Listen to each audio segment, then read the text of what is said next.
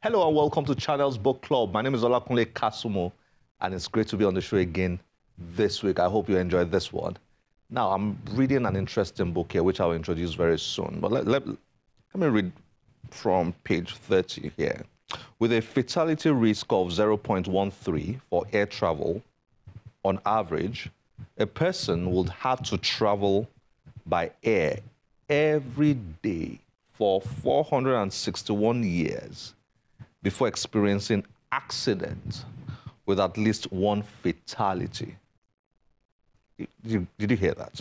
461 years every day before experiencing accident with at least one fatality. On average, a person will have to travel every day for 20,932 years to experience a 100% fatal accident. Wow, just incredible statistics, incredible. Now, I'm reading this from a book titled Cutting Costs Without Cutting Corners, written by a man who has seen it all and done it all in the aviation sector. If there's anybody to listen to as far as aviation in Nigeria is concerned, it's this gentleman. He joined us recently to discuss his very intriguing book. Let's get to meet with him and then enjoy the conversation. Dr. Gabriel Olowo is an aviation economist and an author. Olowo, who is an alumnus of the University of Lagos, has two doctorate degrees, one in business administration from Samuel Adegboyega University, Nigeria, and the other in technology from SK University, Cotonou, Republic of Benin. Dr. Olowo has about 50 years of experience in the aviation sector. He is a fellow of the Nigerian Institute of Management, a fellow Institute of Tourism Professionals, and a member of the American Chamber of Commerce, Brazil Chamber of Commerce, and Industry British Chamber of Commerce. He has served as chairman of the IATA Agency Investigation Panel for West Africa and a member of the ECOWAS Parliament Committee on Implementation of the Yamoussoukro Treaty. Olowo is currently the president of the Aviation Safety Roundtable Initiative, he joins Channel's book club to discuss his book, Cutting Costs Without Cutting Corners, which highlights important dynamics of the local and global aviation industry. You're welcome, sir. Pleasure to be here. Great. And um, I mean, you've had so many years of experience in the aviation sector, and you finally decided to give us a gift by writing and publishing this book. Well done. Thank you. And congratulations. Thank you. Thank you. I, I, I understand that writing a book is a totally different ball game from every experience you've ever had. Definitely, yes. it is a challenge. But you see, it's, it's not good to pass the planet Earth without leaving something behind. That you've written. All the things you sweat in so many years of your endeavor and you just carry it into the grave like that. Terrible. I mean, I mean, it's it's, it's, suicide. It's it's it's, it's, it's a tragedy. So I just thought of myself. I said, listen, age 21, you've entered this industry, and you're about 70 now. Don't carry this knowledge away, this experience. Don't carry it away. Mm. Put it in a book. Mm. See how you can make it academic, make it practical experience, make it because I learned the rope. Mm. I grew through the ranks. I yet went through college. So, so that knowledge shouldn't just go into the grave like that. Okay, here we go. This is not exactly a memoir. This is um, this is this is more like a handbook on aviation. It uh, takes a reader through the various aspects of aviation, policies, yeah, um, training, accidents, accounting, financing, uh, all sorts of Eng things. Engineering, piloting. That was your. That was what motivated you to write. This. What's, what's the story behind this book? Precisely. You know, when you think about the word cost, in every sphere of life, cost is a major issue. Even our polity, you want to cut cost, but are you cutting it rightly? Mm. When you don't cut rightly, you are cutting corners. Mm. If you give 10 yards of uh, material to your tailor, do me an agbada, and he wants to cut some for his children and grandchildren. My agbada, at, my at the end of the day, exist. your own agbada will not be exactly what you want. now, he's cutting corners, all right? And if you don't give him enough, because you are cutting cost, he wants you to give him seven, and you give him six. You are cutting cost. Mm-hmm. At the end of the day, you, are get- cutting you- corners. You get what you deserve. So in every sphere of life, cost is a major issue. And there's, you you make a deliberate attempt to cut costs. Mm. And while you are cutting that cost, you are cutting corners without knowing. Hmm. And you don't get the result you need. So, so I just thought, listen, this is a topic that we don't pay attention to in every sphere of our life. And aviation is so, so intolerant to cutting corners. Any little error in aviation is life. Is this the summary of the aviation sector? The, the title of your book, Cutting Costs Without Cutting Corners, does it sum up the aviation sector in many ways? Up, in fact, every way. There is no element of aviation life that is not here. None. None. Because my exposure took me from the grass to the very peak of it. A to Z. You want to talk about financing an aircraft? You want to talk about maintenance of an aircraft? You want to talk about piloting? You want to talk about onboard catering? Onboard catering? Cutting costs there, you're going to give somebody poison. And While cutting cost, uh, cutting cost, you are cutting corners in there. You're supposed to put certain preservative. You, you, you, you're cutting your cost. Oh, one one drop is enough. When maybe they say put three. By the time he eats the food, he's having stomach upset. Because at certain altitude, that's the way you prepare food, not like our restaurants on ground. So every sphere of life is contained in here. And, and that's why all those topics treats every element. Look at the travel agency. The travel agents, they call them ticketer. They are not ticketers. They are lawyers. Hmm. They're executing a contract between the passenger and the airline. You are the passenger, the airline is the carrier. They are putting a contract together. So when they are putting that contract together, they must understand what they are doing. Because any clause in that contract that you don't understand or the airline does not understand is cutting corners. Hmm. I must take the pain to tell you hey, this flight allows you two pieces of baggage. Each baggage weighs so much kilo, has this so much size. That is the term of the contract. Hmm. But you just hey, write me ticket. Lagos, London, Lagos. You write, you come out. When you lose your baggage, this is what happened to you. This is your claim. If they tear it, this is your claim. So this guy is a lawyer putting contracts together. you know, let, let, let me, let's run viewers through what you have here. Aviation in Nigeria, chapter one, a bird's eye view. Um, and I like the short stories in your book. the first Nigerian pilot. I like that. I like the history of aviation. Yeah. Um, the first plane that landed in Nigeria in Kano, Kano, yeah. was 1925. yeah. I love that story. Yeah. And it was such a risky flight because there were no. Uh, it, it, it, It was some- like- there was no aviation support It, it was like God was falling from heaven. What's, what's happening here? And you explained how the aviation industry in Nigeria was birthed by the British. Yes. Yes. Yeah. Yeah. And it was like a joke. The- It, it's uh, it's West African, is it Air Force or something like that? It was like a joke And then it then evolved. evolved and evolved and evolved. And then you had the. Nigeria Airways. And And the- the story of the Nigeria Airways Yeah. here Yeah. is heartbreaking. Pathetic.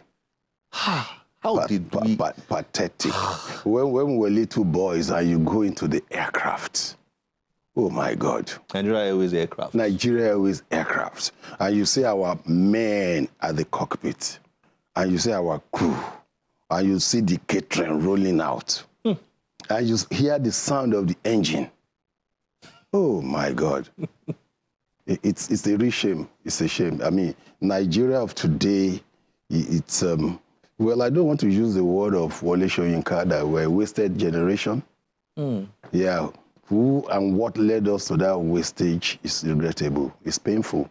Maybe I'll come back to Nigeria Airways, but here under this chapter, Aviation Bird's Eye View, you have airline airline crashes in Nigeria. And you have one table, one incredible table here. I mean, with all the plane crashes ever Yeah. in Nigeria. Yeah. Amazing. With the dates, Yeah. the airline, Yeah. the city, the Yeah. dates. Yeah. Some of them brought tears to my eyes oh, because yeah. I could remember very well some of those some of those crashes. And my own personal experience of one of the crashes. Did you read that area? Yes. How how I have to weep more than hmm. because every home that I visit, Yeah. I tell them Well, you had to go and tell bring you, the you, bad you, you lost one, I lost 122. So I am more bereaved.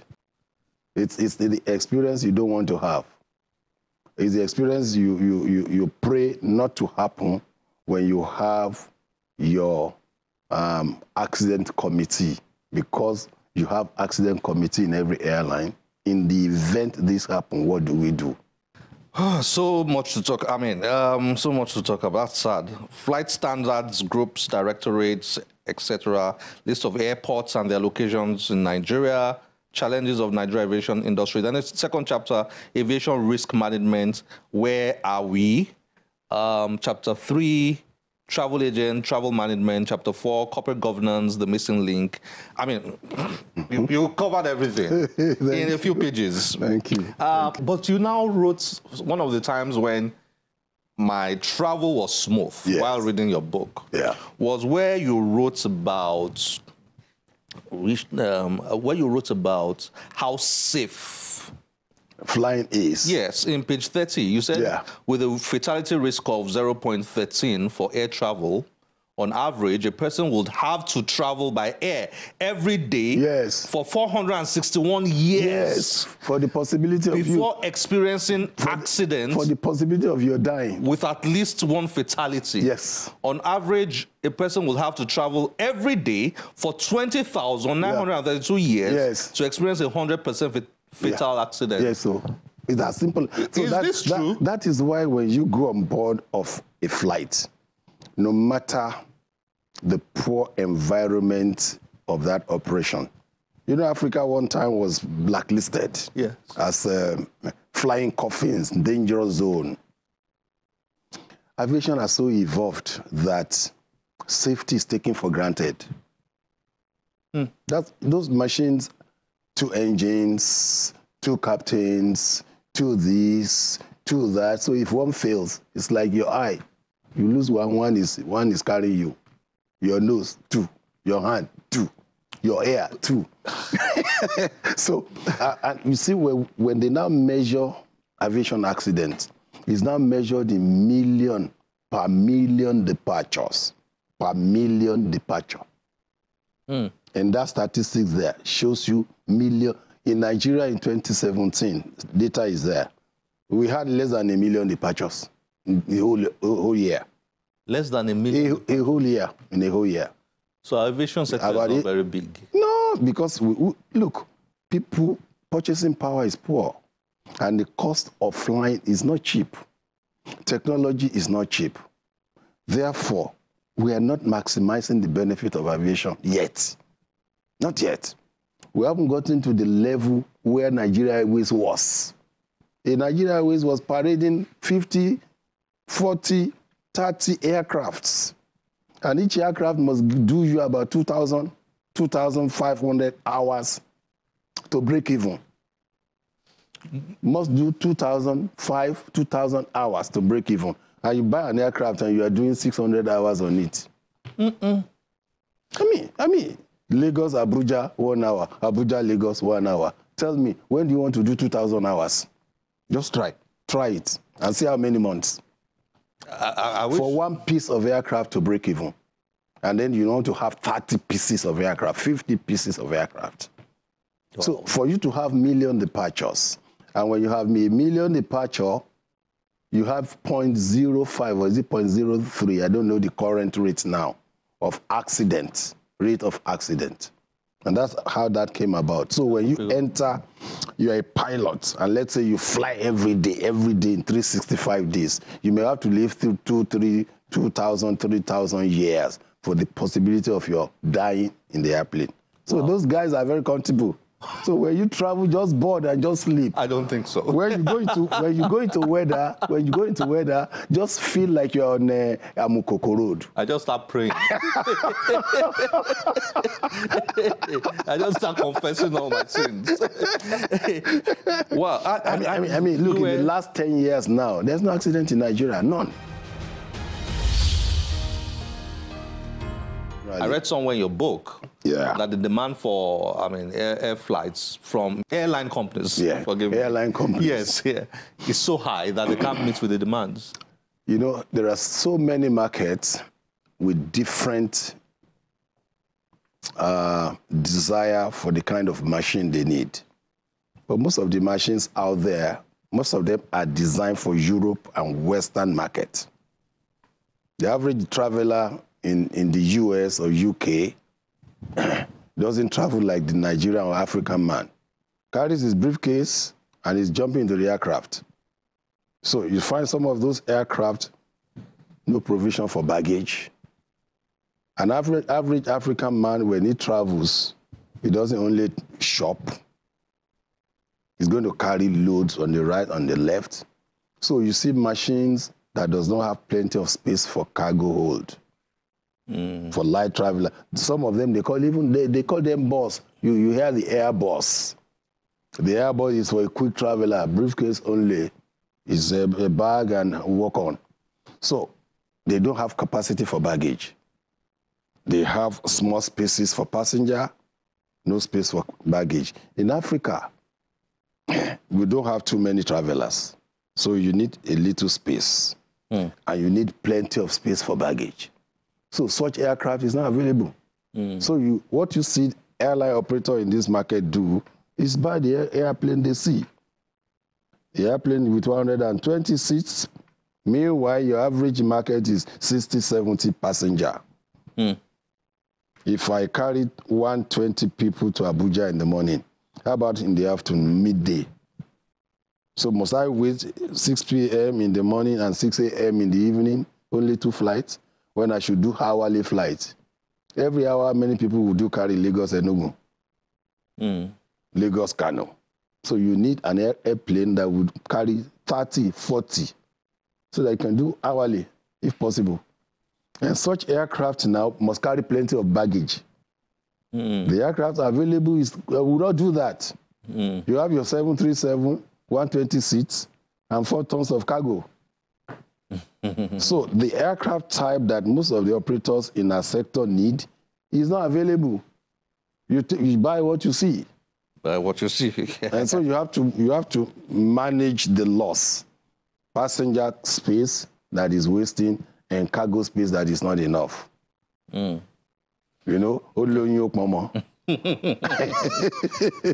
well, let's let's um, let, let me round up with with this. I'll read something you've written here, and then um, on a final note, um, in page one, 126, you wrote, in the last two years, it appears to me that the plight of the Nigerian aviation employee, especially cabin crew members, rather than improving, is getting worse. Yeah. Even though steps are being taken by the government through investments aimed at improving the state of infrastructure in the Nigerian air, in Nigerian airports. Full stop. But our industry thrives primarily on viable airlines, and this is where the snag lies. One functional aircraft in the air can keep about 150 workers or more active. Absolutely. At present, Nigeria lacks strong, profitable, and competitive domestic airlines. Absolutely. So please hold, hold that, sir. Okay. Now, you, you wrote in 127 at present, foreign airlines are having a field day flying into Nigeria's various airports unchallenged as Nigeria lacks capacity to reciprocate its over 88 bilateral air service agreements signed with foreign countries. There should be a way to make it mandatory for all foreign airlines operating into Nigeria to have a certain number of Nigerian pilots and cabin crew on their fleet? Herculean task, eh? okay, so I just extracted two of many issues you raised Yeah, here. yeah, Okay, so yeah. first one is the issue of the Nigerian aviation employee, and you, Mm-hmm. you wrote here that um, it, the plight of the Nigerian aviation employee Yeah. is getting worse rather than improving. Well, you don't have, if I were to be a minister of aviation, when I take my seat, I will say, how many airlines do I meet now? In four years, how many airlines do I want to see? If I want to retain those four airlines, let's say I meet four, what fleet do they have? Four, four aircraft? Do I want it to increase to X number of level by four years? I must have some performance, eh, performance indices for them to say they are growing. Mm-hmm. If you grow, the employees will grow, isn't it? Mm-hmm. Averagely, an aircraft will need 180 to 250 workers per one aircraft, where there is good technology. One fifth, 180 180 to 250 250. worker to service one aircraft with all the logistics, different Amazing- functions. Amazing. Yeah, yeah, averagely. But in Africa, you even have 300 workers per aircraft. Wow. So if aircraft fleet does not exist, does not increase, where do you want to put the increased workers? The workers. How do you want to increase workers? And now, the airline will tell you, how can I grow my aircraft fleet? Where do I operate to? Mm. The foreign airlines are coming to Port Harcourt, they're coming to Lagos, they're coming to Kano, they're coming to almost four destinations in Nigeria, okay, from their home. What that is doing for your economy is that your domestic sector is being eroded. Mm.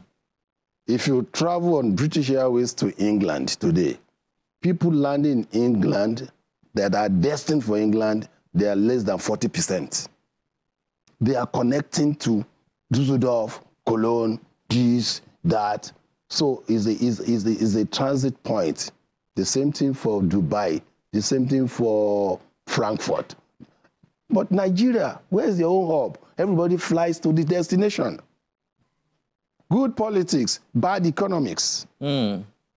And we say, I say to the minister again and again, good politics. I want to fly to Enugu directly from Paris. You have eroded Lagos Paris domestic flight. And so that guy cannot grow his fleet. And when he doesn't grow his fleet, he cannot grow his workers. Oh, I, I- I want you to say something about that part about foreign airplanes, and Yes. airlines, just Yeah. flying into our airspace. Into, because un- un- now, unchallenged. now look at Emirates is flying into this country one time. They were flying how many? 13 frequencies. And AirP said, I wanted to fly, uh, is it five or so? And there was agitation. Yeah, if you fly 20 into my country, I fly 20 to your I country. be able to fly 20 into But do I have capacity to fly 20? No. So if I have no capacity to fly 20, I'll tell you not to fly 20 because you are growing the market for yourself. unless you put my people there. Eh, Put my people there. Let's share it. Sell part of your aircraft. Let me sell into a part of your aircraft, free of charge, because that's my royalty. It's my godfather right. Yeah. If you fly ten, I fly ten. Fair. To fly five, I fly. But for you to fly more than me, you are utilizing my godfather rights, and you must pay for it. You have to pay for it. Yes. Dr. Lowo, thank you very much for this conversation that I don't want to end. but uh, I think viewers should get this book and um, all the things you are saying and more are written in here. Well done, sir. Thank, Thank- you very thank much. you. Thank Thanks you. for joining us on Channels Book Club. It's a pleasure to be here. Thanks, Kunle, for the time. And thanks for taking the time to have read it, Not notwithstanding that you're not an aviator.